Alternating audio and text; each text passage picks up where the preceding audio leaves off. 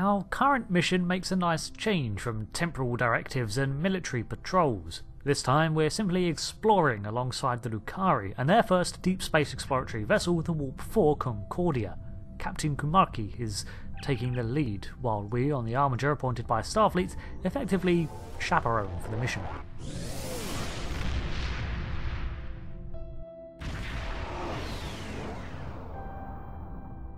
Are you seeing this?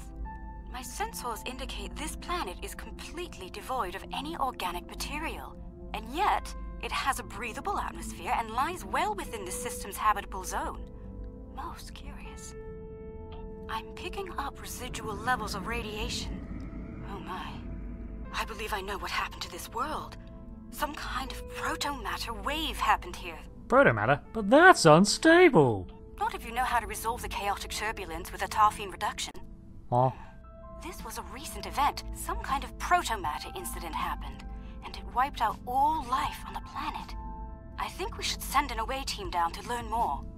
Protomatter is a very unstable substance, but its potential benefits in terraforming and such make it subject of continual study, even in Starfleet. During the 23rd century, it saw use in Project Genesis as part of the ill-fated Genesis device, but was frankly the key component in rendering the terraformer unstable.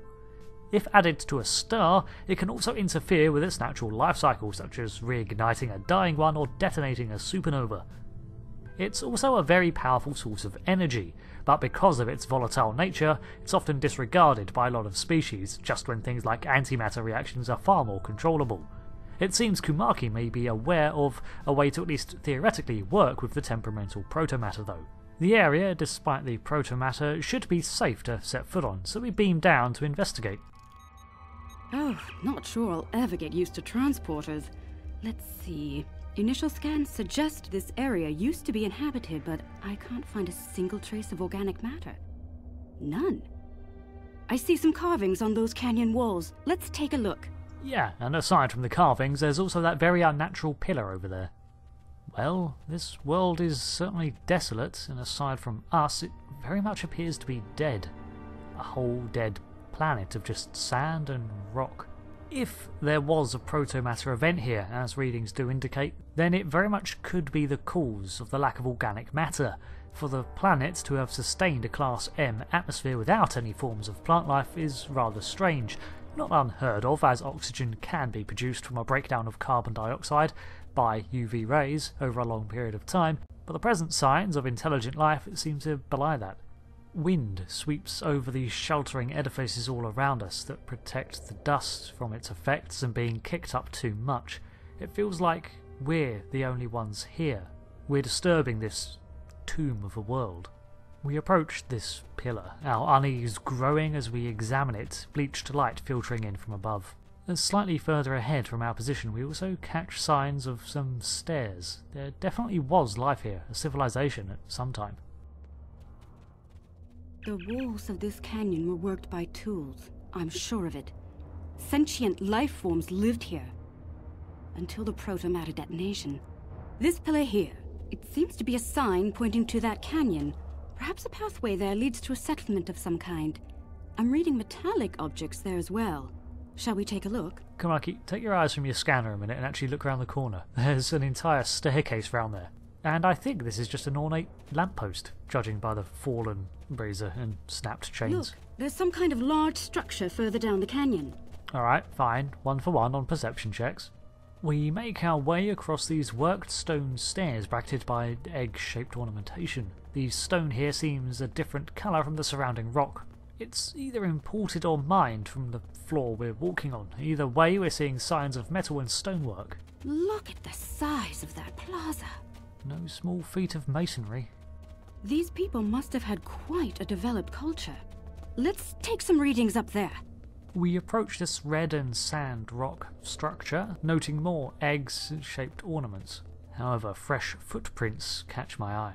But giving a scan, there still are no life signs except for owls. This looks like a town square or ceremonial center of some kind. I see some murals on the far side of the square over there by that arch. I'd like to examine them. They might tell us more about this place. Agreed. Let's poke around some, although be careful, these prints don't look that old. They've not been disrupted.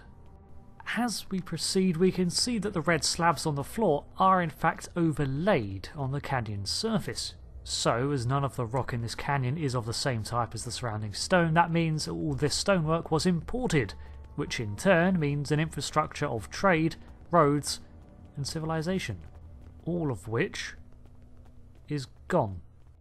We approach the daunting entry to this structure, a place of importance probably from its scale and decoration, plus it seems removed from other shelters, and we've seen no other dwellings nearby, so perhaps it's a temple or form of castle?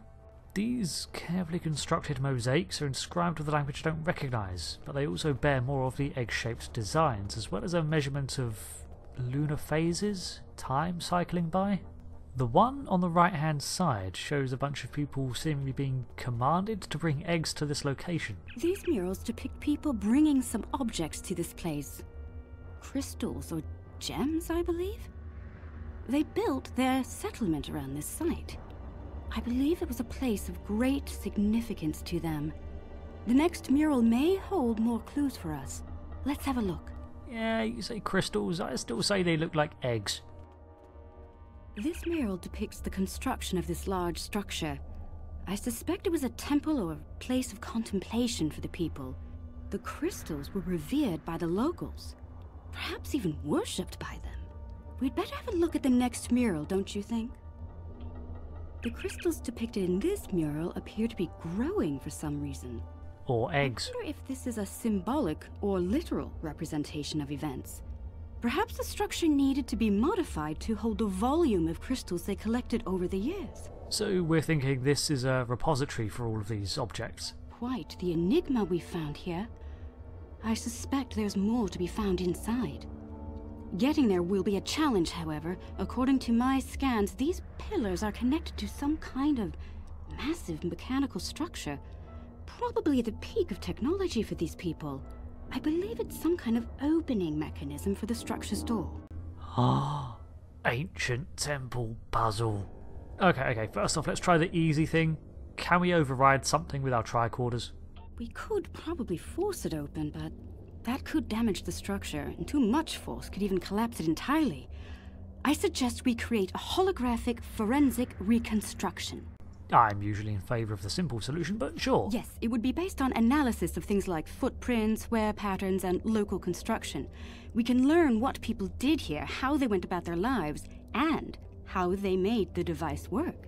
We'd be watching a replay of history, roughly speaking.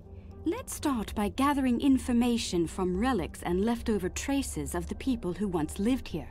Shouldn't be too difficult. Doesn't look like anyone managed to pack up their belongings before they vanished. These artifacts were used with opposable thumbs and indicate a likely handspan of 22 centimeters. You certainly have an eye for numbers, don't you? Based on these footprints, these people had a stride that places them at about 1.6 meters on average. Huh, so just slightly shorter than your average human. The wear patterns here show us that people leaned against here frequently. This was a meeting and gathering area. Strange. These relics should be covered with dust and sand, worn away by time and wind. But they're all uncovered. No organic matter left, and everything left behind in its place. Frozen in time, like. Like it was just yesterday. Yes, the evidence seems clear. The proto matter detonation happened only weeks, perhaps even days ago. We're going to need to make an accurate simulation to continue our studies here. I suggest using modified pattern enhancers to do this. Alright, why is it that the recentness makes this far more uneasy? Until now, I thought this was a relatively ancient place we were walking around. Enhancers online. The signal is strong and clear. Strange, isn't it? A thousand years, a hundred years pass, and it's just ancient history, but a couple of days or a week, and suddenly it's a murder site. Two down, two to go. I guess with it being recent, there's more chance of figuring out what happened, so I guess that's a plus. That's three. One more and we'll be ready. That's the last one. All enhancers online and standing by. All right. The enhancers should give us a pretty good image range. Your tricorder can then act as the center of the network control for the enhancers. I can tie in my data to your tricorder whenever you're ready. Get a little close to the center of the square so we can see what happens. With us already in position, we activate our tricorder and use the displaced molecules and accumulated specifications to recreate the environment. We frankly don't have enough information to actually look at any of the features on the native species here, but we get a general idea of their form. Note that the alien is using the pillars in a specific order. Whilst all around the edge are onlookers and worshippers, so yeah, this place is a temple for sure. Or possibly an aerobics court. They're making the murals match up on each pillar. This place was guarded as well. Whatever has kept it, those crystals or eggs, very important to them. We watch for a bit longer as the central figure completes his meddling with the pillars and heads into the temple. Looks like some kind of functionary, priest or bureaucrat, I think, would unlock the door by turning the murals on the pillars.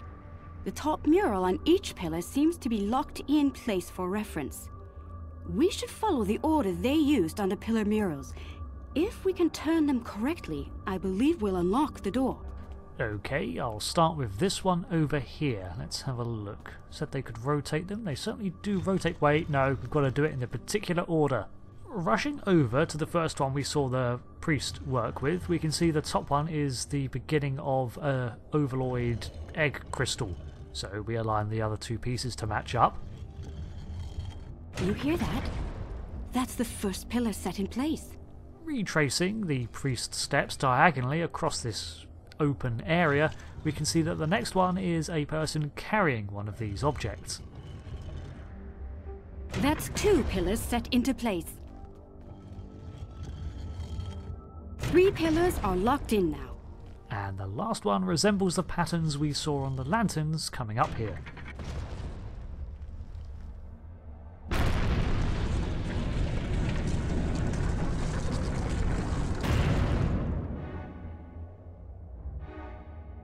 That's it! It's working! Well done! Shall we see what secrets this building holds? I think I see another mural inside the doorway. We should take a look at it. Yeah, yeah, I, I see it too, and I'm not willing to write it off as coincidence. As we reach the now open doorway to the structure, we're confronted with a very austere recreation of a Starfleet Delta. The emblem is seemingly made from solid gold or some metal like it. Isn't that the symbol of your Starfleet? Mm-hmm. How did it get here? How could it be in a temple of people who don't even have electricity, much less space travel? Getting stranger by the minute. We should search the temple for more murals. Rounding the bend, we're soon presented with another disturbing image. Several of these planets' natives chaperoning three individuals, one in a gold uniform, one in a blue uniform, and one in a red uniform with black trousers, meeting with this planet's officials. Those look like Starfleet officers. Those people in the picture, they don't look like the others. No, they're Starfleet, 23rd century uniforms, 2250 to 70 sometime by the look of it. What happened here? If Starfleet officers contacted this civilization in the past, why wouldn't you have a record of it? We should head deeper into the temple and continue our search. We would definitely know about this already if this was official. I do not like the look of this. I think the panel on the wall here can be pushed to open something. Then push it. Fine, but if it's booby trapped, you've got to say something nice at my funeral. Those inner doors across from the panel are opening.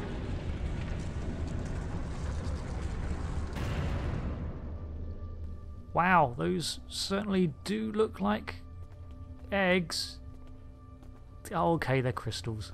We enter into a natural cavern behind the temple, a single shaft of light scattering off a deposit of oval crystal structures as depicted in the mosaics. What is all of this?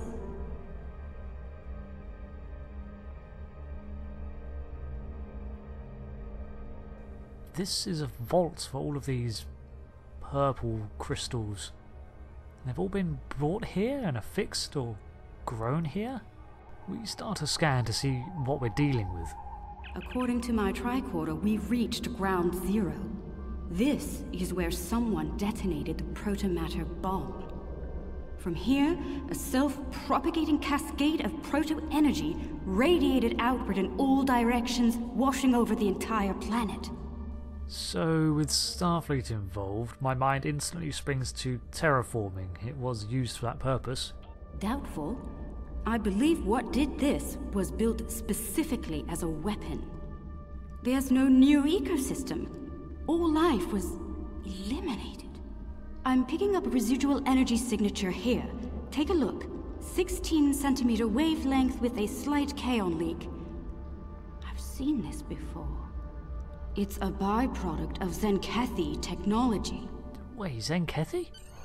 Zenkethi, apart from being one of the few species to stumble across the Lukari, are a species that Starfleet has a bumpy history with. Whatever unfortunate events have unfolded here, the Zenkethi and Starfleet are both involved, and it seems to have led to the destruction of this civilization. Coinciding with our discovery here, the Armiger calls in that they have stumbled across a 23rd century Starfleet station in orbit of the planet previously hidden in the ring system. We perform a site to site transport just as another ship enters the system to stake a claim to it. We order the Armiger to protect the Lukari vessel while we board the derelict for answers. It's always strange stepping aboard these old stations. As a 23rd century captain myself, it's a bit like coming home, except everything's slightly different than you remember it.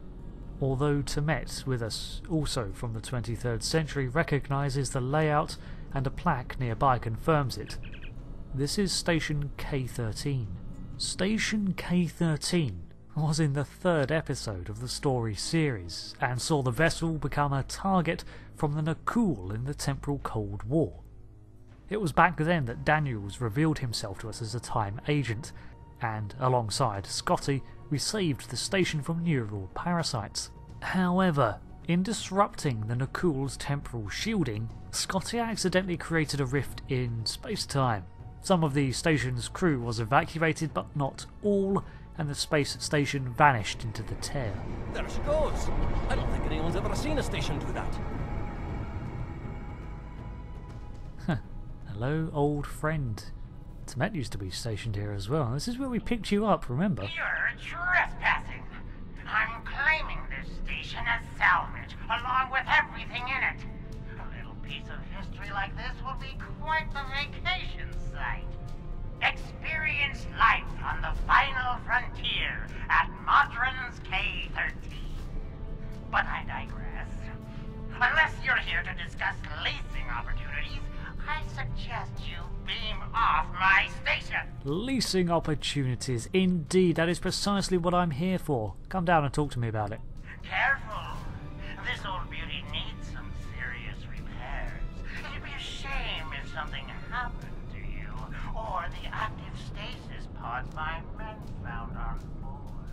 There are stasis pods on board? If anything happens to them or their occupants, Diamond, see, it's more menacing if I just leave the threat hanging. Fair warning. My Nausicaan guards aren't very fond of intruders. Well, that's okay, because I'm not very fond of Nausicaan go- Wow. No, that sounded better in my head. So, it seems the other vessels entering into the system was Madran with probably some Nausicaan backup. Great. As we round the corner, we spot some of his guards. I'd be happy to sell the pods to you. Consider their living contents a promotional bonus. We storm the room ahead, taking the Nausicaans unaware as they try to reactivate the station by punching it. With them all stunned, we're free to look around at what they were trying to ransack. Chief Engineer's Log, March 18th, 1570. Had a discussion this morning with security about our Klingon prisoners in the brig. We can't just leave them locked up, or execute them, or exile them on the planet below. Setting them free isn't a popular notion either. We're still looking for options, but I think the stasis pods we have in medical will come in handy real soon. 1570. As in the 16th century, this station has been in orbit of this planet for over 840 years. Scavrin notes how things were made to last in the 23rd century, and as living proof of that himself, I'm sure it is said with no small amount of pride. It looks like the Nausicaans managed to restore a small amount of power to some of the functions of their station, and were able to access another log. Chief Engineer's Log, Supplemental. By my account, we've been hurled back in time to the 16th century. To make matters worse, we're a very long way from the Deneva system. None of our shuttles are warp capable, and even if we could get to Earth, we'd be in the wrong time. In short, we're stuck. There's nothing to do now but wait and try to conjure up a way to get back to the right time. Scavrin notes that the computers have lost networking, so we'll actually have to go to the main computer core itself to regain control of the station. For trespassing are quite severe, and I plan on collecting them. That's convenient because we do too. Working our way through the degraded corridors, we do encounter several more Nausicaans out on patrol, and we take care of them as quickly as possible. Honestly, I'm a little sketchy on Starfleet's rules of salvage, but as far as I see it, this is a Starfleet station, there are still Starfleet officers on board, and we're currently working alongside someone who was formerly posted here. Therefore, Madran can get his greedy little mitts off of the station and return its still living crew to us. On top of that, I, you know, kind of have a duty as a temporal agent to clear up things like this. We reach a research lab, and the first thing we notice are the stasis pods lining the walls, all of which are occupied by officers of the station. Temet sets about locking out the Nausicaans from these controls and other areas of the starbase, while we uncover another log. Chief Engineer's Log, April 17th, 1570.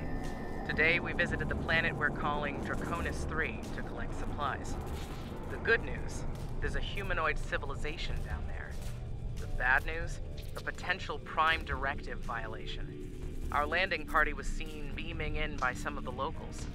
We're hoping that doesn't impact their culture in any way. One thing's for sure, they can't help us go home. Their tech level is Bronze Age at best. Uh, By the looks of things, a Prime Directive violation occurred anyway. After locking down the computers, Scavrin mentions the central control hub might be the next step. Trying my patience is going to cost you dearly. Before we go, we check on the occupants and they all seem to be alive. We see someone wearing captain's stripes, several lieutenants, and many ensigns, but they all seem to be ticking on by. Our inspection does yield up another log entry, however. Chief Engineer's Log, August 6th, 1570. The Warp Booster Sled Project is officially a bust. When we tried to spin up the coils, we couldn't get a stable warp field. Yashby and Arlington managed to shut it down and stop a breach, but the shuttle's impulse drive is shot. I hate giving up, but we just don't have the parts we need to make it work. So it does sound like they tried a lot of solutions to try to get home, even just get out of the system. But it doesn't sound like anything really worked. Sprinting down the corridor, we make for the central control hub where the last of the Nausicaans are. This battle is a little tougher, the open area not really great for a firefight, so we retreat into the corridors and beam in reinforcements from the Armiger. At one point, Hale takes a rather nasty hit and I think he's done for, but fortunately the Nausicaans don't chase us round the corner and we're able to take them out.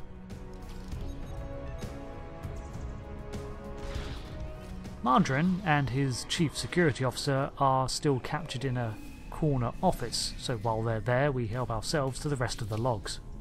Chief Engineer's Log, July 26th, 1571. Most of us went into stasis this morning. There weren't enough pods for everyone. Three of us had to stay awake. We drew lots, and Tavon, Sheridan, and I were the lucky winners.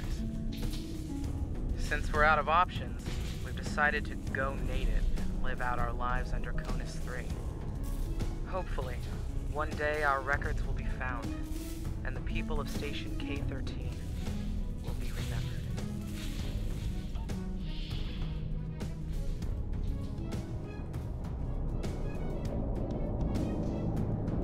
of Acquisition 431. When the shooting starts, let the mercenaries handle it. Handle this, Captain.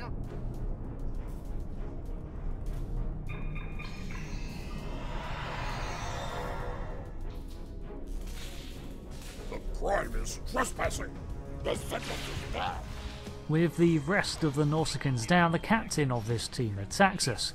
Marjoram must be paying him very well because the odds are really not in his favour. With him stunned on his ass, Nulia calls in to report that Nausicaan vessels are approaching the Concordia. Before we leave, however, we can find one final log at the rear of the central hall. Chief Engineer's Log, July 9th, 1571. It's decided. Most of us are going into cryosleep. Those who stay awake, well, there's the rub. Going to live on a remote part of the planet below is likely, despite the Prime Directive issues. Staying here isn't viable. When the supplies are gone and the remaining power is in the stasis pods, anyone left is a goner. This station will be their tomb. So it seems the survivors were left with no choice. It was either stay here and die, or go down to the planet and try to live out a life away from the natives and not interfere too much. But despite what their intentions may have been, we've seen clear signs that interference did occur. Having a temple built with a Starfleet monument inside, things clearly didn't go according to plan. It certainly surreal coming back here and seeing it like this. In many ways, this is the station where Hale's journey effectively began. It was here he first became a temporal agent and got involved in the Cold War, here that he first recruited Tamet. In many ways, while not the direct cause of this, it is literally his past coming back to haunt him. I see you took out the Nausicaans on my station. I'll just add their fees to your tab. I do hope you're good for. Otherwise, I might have to take possession of that pretty ship of yours. Come to think of it, I'll be taking your ship anyway. Whether you're alive or not when I do is up to you. You're taking my ship. That's just downright theft from Starfleet. That's. You're done. What unfolds next is a skirmish against the DaiMon's Nandi class vessel and several Siphon frigates that launch small drones to tap our energy supply. During the skirmish, however, we can handle ourselves just fine, but we had to keep an eye on the Concordia. It's nowhere near as robust as the Armiger. However, Kuumaarke did mention how Starfleet has been sharing a lot of technology with the Lukari in preparation for supposed Federation membership, which included deflector shielding. So they're a bit hardier than perhaps we give them credit for, because we see them weather quite a few blows. Not my engines! Those cost me more latinum than you're worth! Little hazard pay whoever takes that ship now! Naturally, after disabling the DaiMon's ship, he calls in more reinforcements, this time a Nausicaan Siphon frigate and a battle cruiser. As the larger Nausicaan vessel starts to prey on the smaller Concordia, we sweep in from behind and blow it to pieces. Get us out of here! Maximum warp! With that, Marjoran flees and we add him to the very official Starfleet shitlist. That was quite an adventure. I knew Madran was greedy and treacherous, but I never thought he was willing to kill to get what he wants. In spite of that, I feel like we've learned so much out here. And for the better. Yeah, I mean, that's pretty much what life out here is like nowadays. There's a lot of exploration and discovery, and that's wonderful, but frequently there is a lot of skirmishing involved too. Indeed. I'd say our first flight was a success. Now we need to share our discoveries with everyone back home. I hope today's events will convince my people of the continued need to explore and to be part of the galactic community. With luck, we'll do this again sometime, and soon. On behalf of the Lukari people, thank you. No probs, and I am sure Starfleet will continue to be willing to help. As we prep to leave, the crew discusses their findings. This bodes some serious investigation ahead. The Prime Directive violation needs clarification, as the Starfleet crew, stranded in the 16th century, seem to have definitely contaminated the culture below. At least that's how it looks. But on top of that, we have evidence that the Zenkethi are the ones that deployed a protomatter weapon on Draconis 3. I'm happy to hear the Lukari handled their first experience with space exploration well. There's talk of their desire to join the Federation, and from what I'm seeing, they'd be fine members. The mystery of Station K-13 has been solved, although the past violation of the Prime Directive by some of its personnel is a concern. Hopefully the crew preserved in stasis pods will be able to shed a little more light on that situation. Finally, this news of a Zenkethi protomatter weapon is disturbing. I'll be looking into it from all angles, diplomatic and military in particular. We've fought a war with them before, and I'd prefer avoiding another now. Yes, the Zenkethi have been quiet for a long time, and they pretty much sat out the Iconian War, but they have clashed with Starfleet in the early 24th century. But dealing with these problems will have to come in a later episode of the story series as new frontiers lie ahead and we continue to explore the ever changing narrative of Star Trek Online. I've been Rick, thanks for watching this, and I hope to see you back for the next part. Until then, thanks again, and goodbye.